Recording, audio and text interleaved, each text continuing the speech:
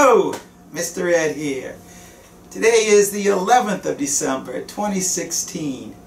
And uh, since we're pretty cold outside, about 40 degrees, this morning I'm um, inside the Woodworks building and uh, we're upstairs in our little kitchen area up here. Um, I thank you, Mark, for letting us use this area to, uh, to be able to do this little process.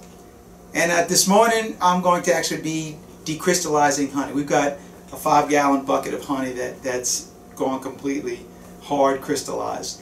And so I'm going to go through the process that I use uh, to decrystallize um, the, pro the uh, decrystallize the honey. Uh, it's a very simple process. You just take a, a big old pot.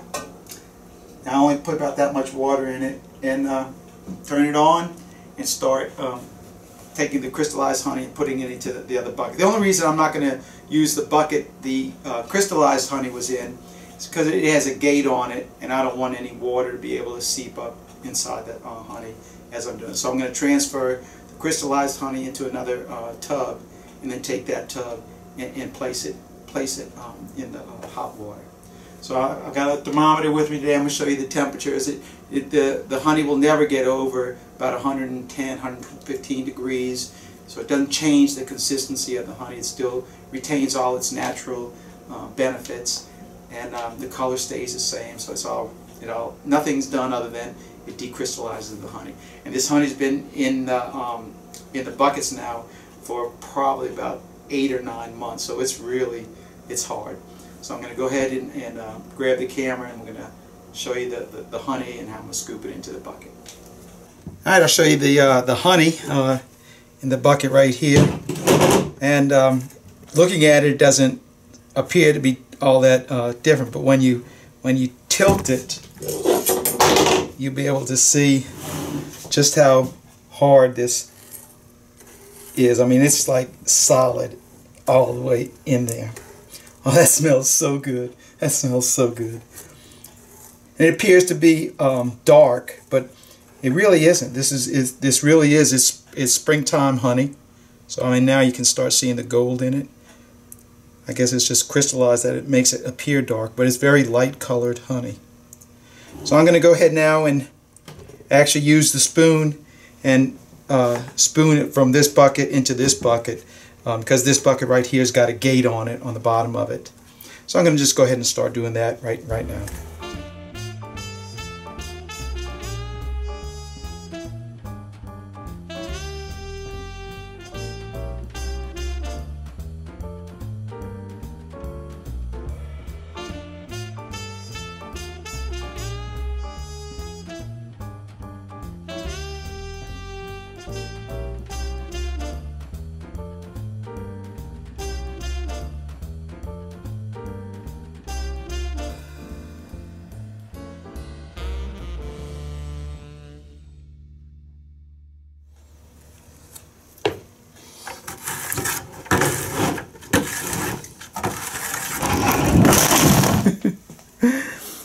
I may have gotten a little overzealous uh, trying to get that honey out of that bucket.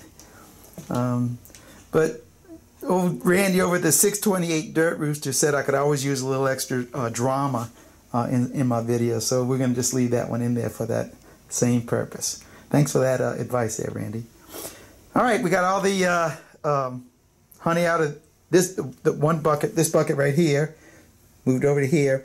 And so from at this point, we're just going to go ahead and uh, um, put it in our in our, our pot right there. Um, it's it's a pretty big old pot uh, right here, and I'm gonna go ahead and turn the water on, and uh, turn the fire on underneath the water, and uh, drop our bucket in it. So that's the first stage uh, stage that that I'll do, and uh, get that in there and let it start heating up. All right, let's go ahead and see how our honey's doing.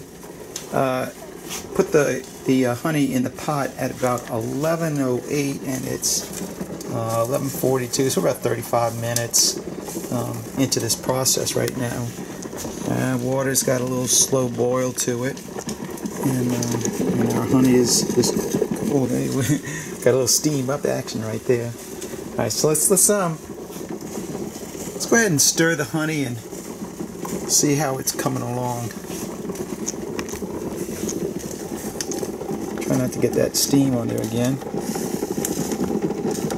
Yeah, I still can feel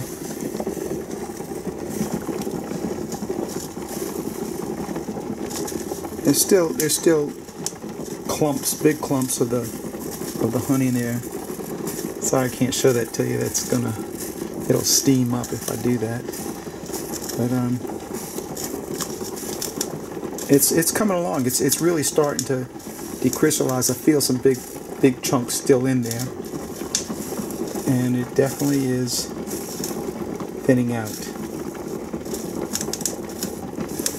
Right, I'm gonna grab the uh, thermometer and we're gonna check the temperature. So what's what our water now is doing.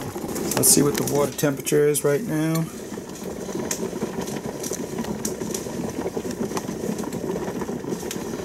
Water boils at 212.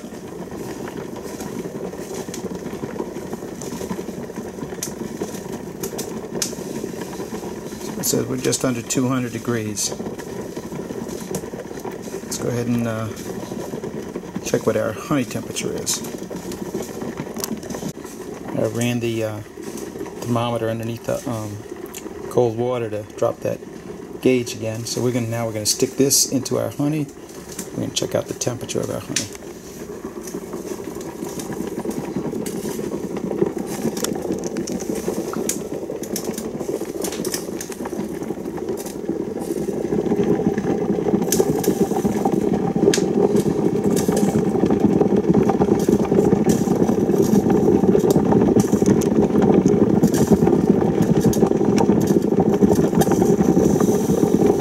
And as you can see, honey temperature has not even reached 100 degrees.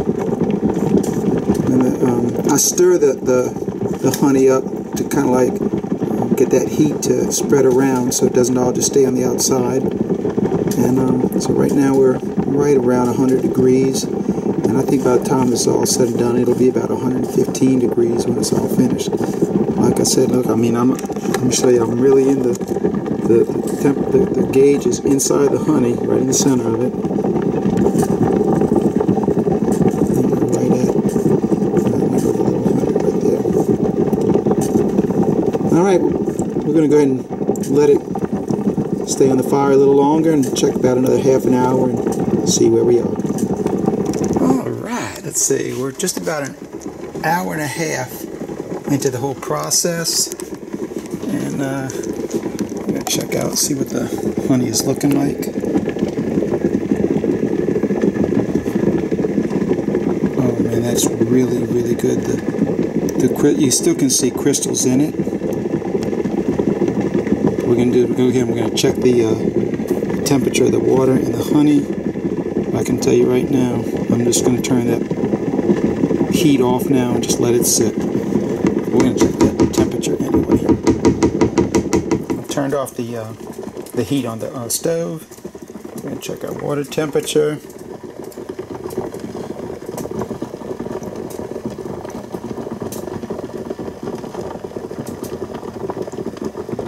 Right over 150 degrees. All right, take this out and dry it off. Dip it into the honey now. See the temperature of the honey.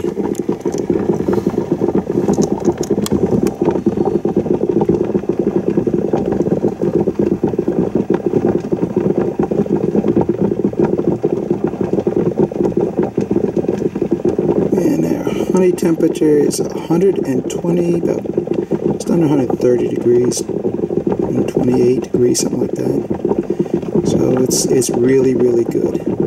I'm just going to go ahead and let the um, the honey sit in the water now for probably about another two hours, um, and uh, let let all that um, crystals in there finally um, dissipate.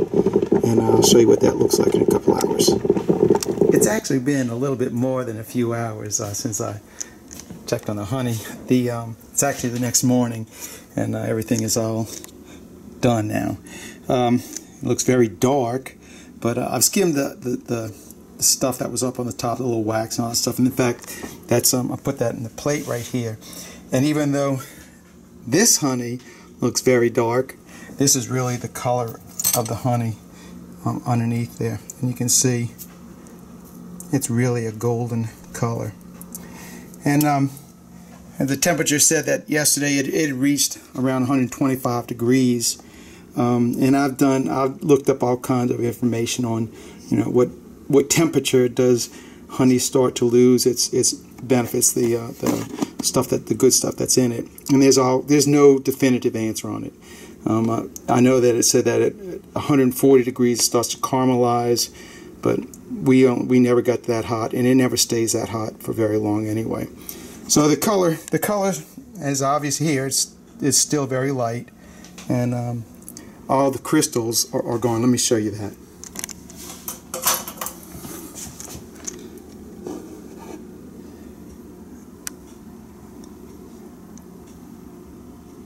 it's all reverted back to the nice, beautiful, smooth honey. Alright, that's all I have for you today. Thank you for watching. Keep on watching. And I'll be making more. God bless. Mr. Ed, I'm out of here.